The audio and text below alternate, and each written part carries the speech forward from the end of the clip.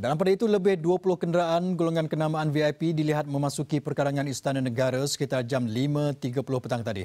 Ini adalah visual langsung dari Istana Negara. Kami masih belum mendapat apa-apa maklumat mengenai pergerakan kenderaan VIP berkenaan serta sebab kehadiran mereka ke Istana Negara. Bagaimanapun, sekumpulan wartawan sudah pun berkumpul di pintu satu Istana Negara sejak tengah hari tadi. Kami akan bawakan perkembangan terkini dari Istana Negara sejurus ada sebarang maklumat lanjut.